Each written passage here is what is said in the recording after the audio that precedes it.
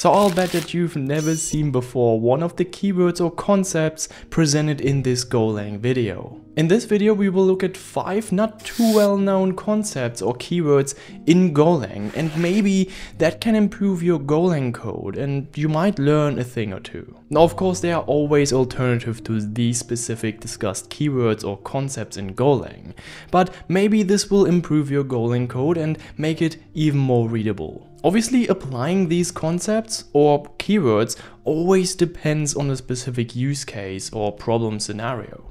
So let's just get quickly into the first keyword. Now the first one is pretty straightforward and really easy to understand and maybe you've heard of this keyword before. And it is obviously the IOTA keyword here. Now this specific keyword in Golang is pretty much useful for whenever you want to create some sort of sequence of related constants. So I'll give you first a way how you should not approach this specific problem and then I will give you the correct version. So let's just start with the wrong way of doing things. Let's just say that we want to, for instance, define Monday to Sunday as constants but also declared as integers. Now for that it's pretty straightforward, we will just create here a const group and then we will pretty much define Monday as 1 and so on and so forth. Now I think that's pretty clear, right? And it's pretty cool that we can do this in Golang. However, this is somehow a problem, right? Because it's not really beautiful and it is really, really ugly. So let's just say that we've decided to let the Monday start at zero, right? So we have 0, 1, 2, 3, 4, 5, 6. So in the end, the Sunday is the 6 and the Monday is the 0. And obviously, this is pretty problematic because I have to pretty much go through this constant list here or constant group and change all the values. And this is where this magic IOTA keyword comes into play. Now this pretty much allows automatic numbering. So for instance, when we define here IOTA, we get Tuesday, Wednesday, Thursday, Friday, Saturday, Sunday, but we don't need anymore to define the values here for these constants, which is pretty neat I think. So what we have now is that Monday starts with 0 in this case and Sunday ends with 6. So let's quickly demonstrate this by just printing out these constants. Okay, I've got here a pretty basic just print line statements. So let's quickly run this function here or run this main function. And what we see is the expected output, right? So this is a pretty common and neat way of doing this kind of stuff. But let's just say that now the use case is that Monday should be 1 again, right? What could we do about it? Now it's pretty easy because IOTA is in the end also some sort of value. And what we can say is plus 1.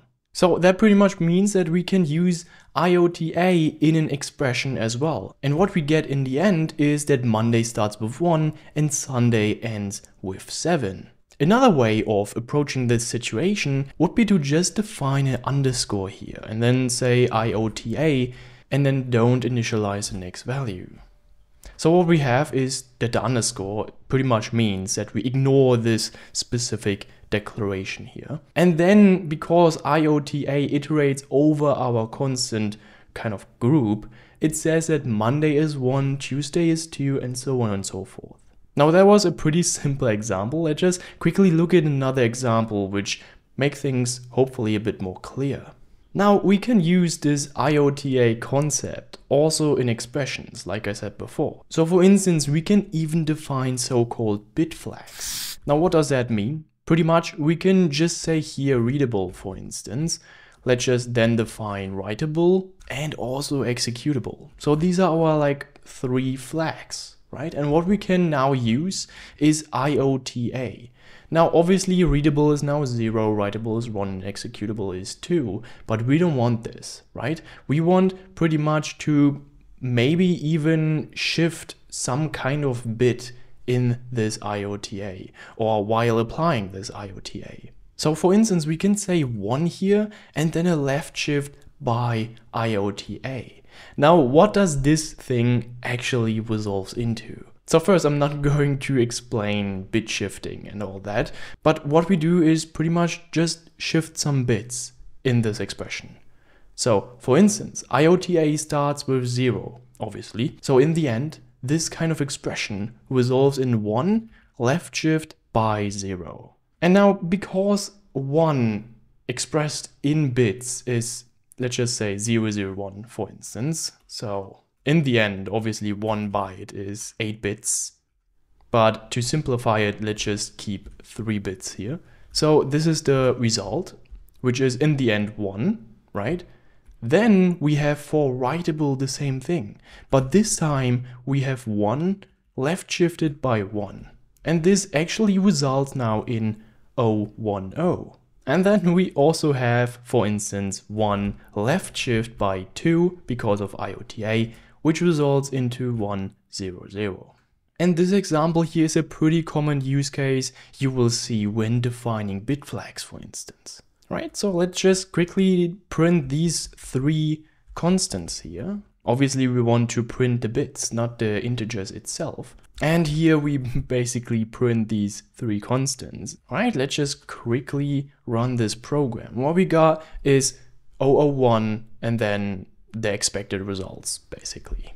Now I think you can apply this specific concept or keyword to pretty much any sort of problem where kind of a sizing or numbering or automatic numbering is required, right? So for instance, a use case also could be determining the size right? So we have kilobytes, megabytes, gigabytes, and so on and so forth. And we can make use of the IOTA keyword to basically define what a gigabyte is in bytes, for instance. All right, let's just quickly get into the next keyword. Now the next keyword is the new keyword in Golang. And this keyword basically allows you to allocate memory without initializing anything. So what I mean by that is pretty much that the memory is initialized with zero. Now obviously this is like less commonly used with normal types like integers because obviously it's much easier to just use the type directly. So for instance, let's just say that we have a counter which is a struct. And in this counter struct we do have a count integer and then obviously we do have a increment function.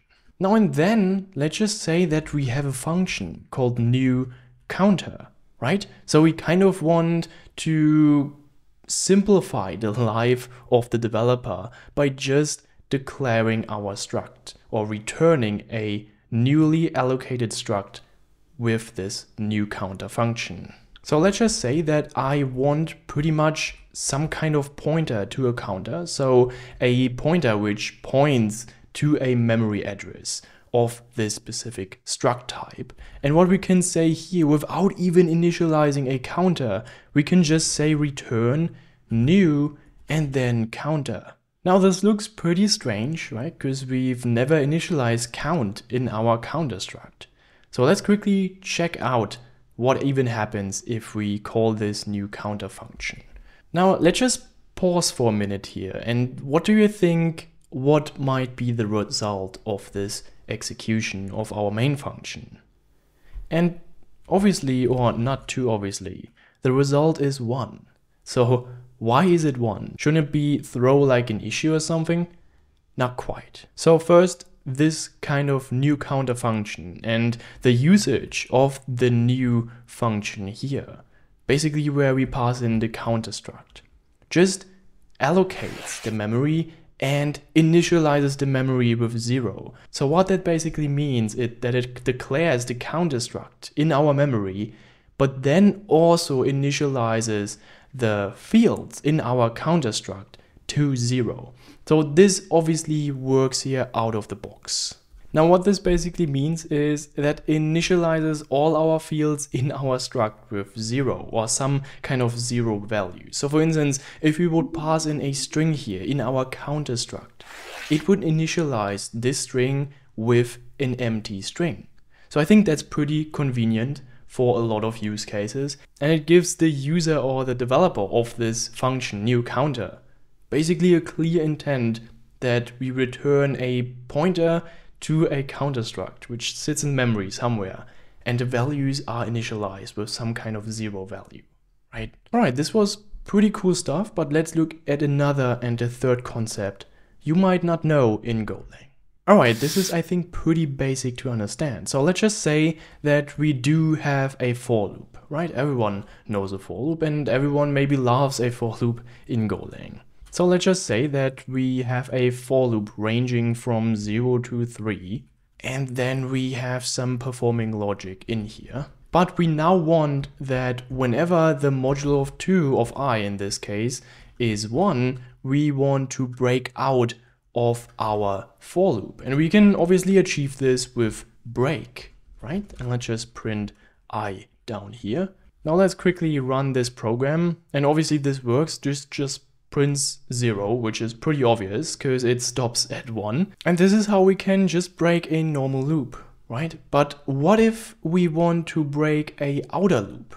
So let's just say that we have another loop which is called the outer loop. So we have an outer loop here and an inner loop here, and we want to break the outer loop, right? So we do not want to break this loop, but we want to break this loop. So that in the end, this whole construct here is terminated, right? So I'll give you here a more clear example. Okay, and we have this double for loop here which might seem complex, but it's pretty easy to understand. Basically, whenever we hit the first iteration of the outer loop and the first iteration of the inner loop, we want to break out of this for loop. So let's just execute the program here. And what we got is that it kind of breaks out of the inner loop when i is equal to 1 and j is equal to 1, right? So we kind of skip all the other steps but let's just say that we want for this specific example, we want to break out of the outer loop, which basically means that we want to kind of terminate the program in this case, right? So how can we say in this specific if condition that we want to break out of this loop? And it's pretty straightforward. We can somehow label the for loops, right? And with this kind of syntax, which might look really weird to you, we just say that the outer loop is labeled as this here. So basically, we can now break and then use outer loop, which is also declared as a label. So this is like kind of a special type in Golang. And what we do now is that we don't break this inner for loop, we directly break the outer loop.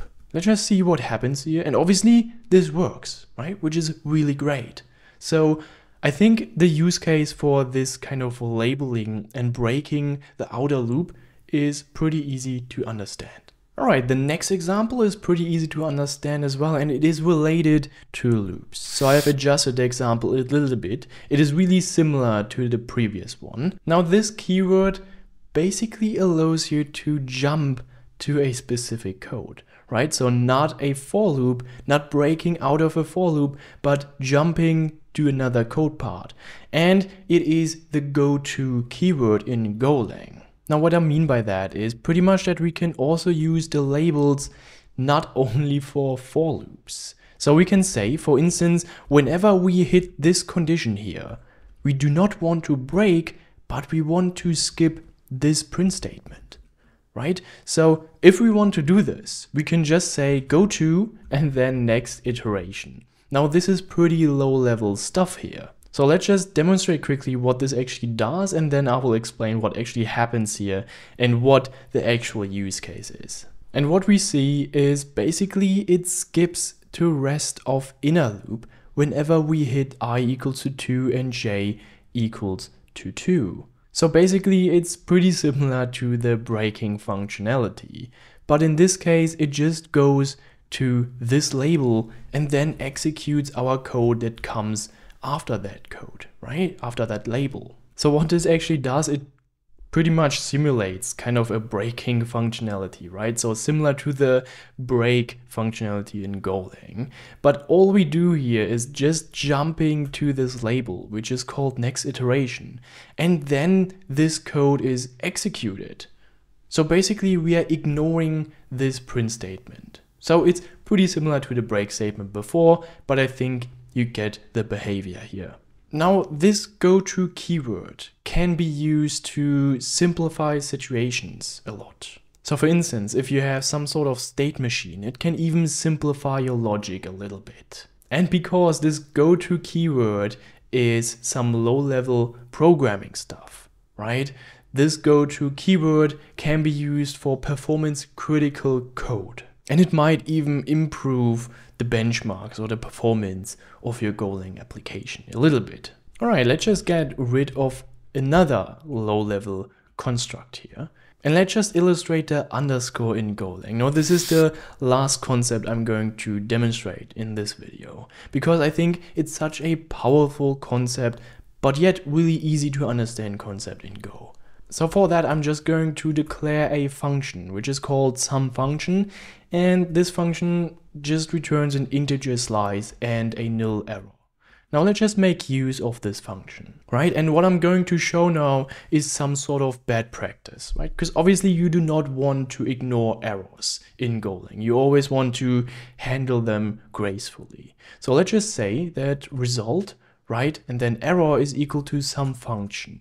Now obviously, for instance, we want to make use of the result here. So we just print the result. But now we have the problem that error is not used.